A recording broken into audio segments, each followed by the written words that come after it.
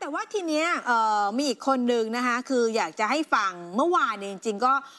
ได้เล่าไปละช่วงหนึ่งนะคะ คุณจตุพร พรมพันธ์แกนนำคณะหลอมรวมประชาชนเนี่ยก็ได้พูดในรายการประเทศไทยต้องมาก่อนตอนทองแท้และทองชุบ เรื่องคุณทักษิณจะกลับบ้านมาติดคุกนี่แหละค่ะก็บอกว่าเอาให้แฟร์ๆนะนายทักษิณเนี่ยควรกลับมาก่อนเลือกตั้ง เข้าคุกอย่างสง่างามเนี่ยนะคะ อย่างนี้เลย บอกว่า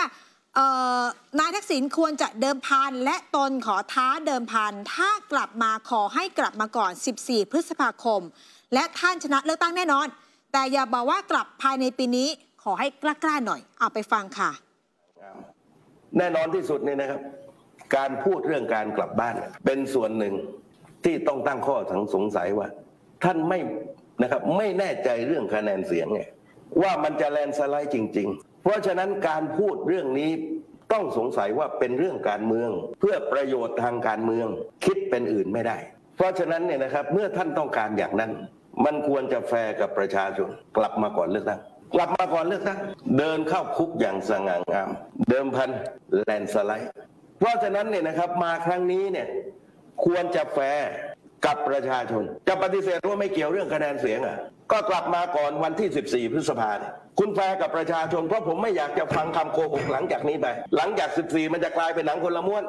หลัง 14 ก็จะมีเหตุผลว่า ไม่ต้องกลับมาเดี๋ยวกระทบต่อรัฐบาล และครั้งหน้าก็มาปั่นใหม่ใช่ใช่ประชาชนเนี่ยนะครับเขาบาดเจ็บล้มตายเนี่ยนะครับ ประเทศนี้ได้รับผลกระทบทั้งทางตรงทางอ้อมกันมาโดยตลอดมาโดยตลอดเนี่ยเนี่ยเพราะว่านายกทักษิณก็ประกาศเล่นเกมแบบนี้กันมาโดยตลอด เราเองต้องการเห็นว่าควรจะนักเลงกันซะบ้าง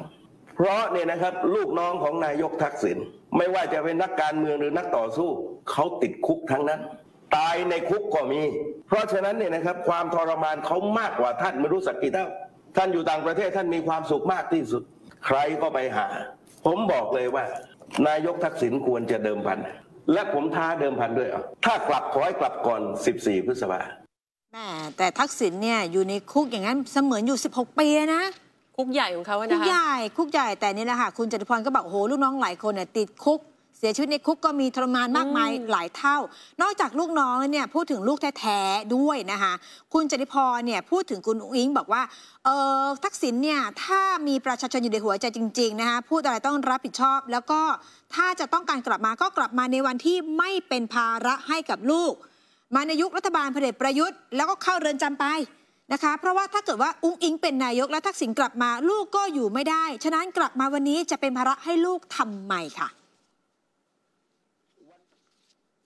ทักษิณต้องเลิกเห็นแก่ตัว หรือแม้กระทั่งเห็นแก่ครอบครัวก็ได้เอาใช่เพราะว่านี่นะครับ ถ้าอุ้งอิงเป็นนายกเนี่ยนายกทักษิณกลับมาเนี่ยลูกก็อยู่ไม่ได้ ก็เป็นภาระกับลูกทำไมอะก็กลับมาวันนี้ เรื่องความยุติธรรมเนี่ยทุกคนดังไฟหาทั้งนั้น เราก็เรียกร้องแต่เราน้อมรับชะตากรรมแม้จะเข้าคุกออกคุกห้าครั้งอะหรือแม้กระทั่งคนที่เป็นรัฐมนตรีในรัฐบาลท่านน่ะที่เขาติดคุกอะท่านมองหน้ามองลงมาเนี่ยท่านควรอับอายเขานะท่านเป็นหัวหน้าเขานะ หัวหน้านี่คือกัปตันนะถ้าเป็นกัปตันเรือต้องลงเรือเป็นคนสุดท้ายนะ แต่ท่านเนี่ยนะครับท่านไปก่อน ท่านมองมายังประเทศไทยที่เขาติดคุกบาดเจ็บล้มตายเท่าไหร่ ท่านนอนหลับไปได้ยังไงแต่ละวันเนี่ยเอาจริงสักครั้งเนี่ย14พฤษภาเนี่ยมาเถอะมาก่อนนะครับ อย่างน้อยที่สุดนั้นเราก็จะได้เห็นว่ามันได้จริงสักครั้งนะครับ ถ้าท่องท่านต้องการจะอยู่กับลูกกับหลานตามที่ท่านประกาศ ท่านทรมานมาก ทั้งที่จริงแล้วเนี่ยครับไม่มีใครต้องการให้ท่านทรมาน ไอ้บุญทรงยังอยู่ได้อืมภูมิสารผลอยู่ได้วัฒนาเมืองสุขก็ยังอยู่ได้ทำไมนายกทักษิณซึ่งนั่งคอรมอเดียวกับพวกนี้นะครับ หลายคนเนี่ยนะครับทำไมท่านอยู่กับเขาไม่ได้ทำไมเขากล้าขนาดโทษในวัฒนาเมืองสุขต้องหนีทำไมเขาไม่หนีอะแล้วทำไมหัวหน้าเขาโทษ 12 ปียังไม่กล้าอยู่เลยอะไอ้นู่น 99 ปีไอ้บุญทรงเนี่ย48 ปีเขายังกล้าเดินเข้าไปติดเลยค่ะ12 ปีของท่านเนี่ยนะครับ ในคุกเต็มที่ก็4ปี นี่นะคะ มาคุณจตุพรพูดทีไรเนี่ยคนจะเงี่ยหูฟังนะใช่คุณกะเหว่าเพราะว่าคุณกะเหว่าคิดดูท่านผู้ชมคิดดูว่าถ้าเป็นคนนอกพูด คนที่อยู่ฝั่งตรงข้ามพูดเนี่ย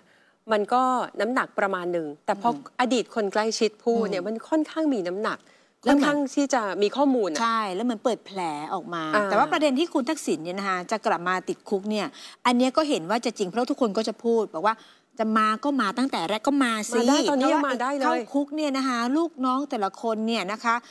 ยังแบบเดินเข้าคุกกันไป อยู่ในคุกกันไปไม่รู้เท่าไหร่เท่าไหร่แล้วคุณทักษิณเนี่ยกี่ปีแล้วที่ไม่กลับมาอืมแล้วถามว่ากลับมาเนี่ยจะพายิ่งรักษณ์มาด้วยไหมนี่ไงน้องพูดแต่สาวเรื่องนี่ยตัวเองค่ะเอายิ่งรักษณ์มาด้วยค่ะ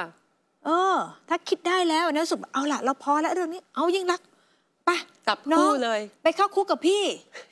อย่างเท่ใช่ไหมเออๆ กลับมาแบบเท่ๆนะคะค่ะ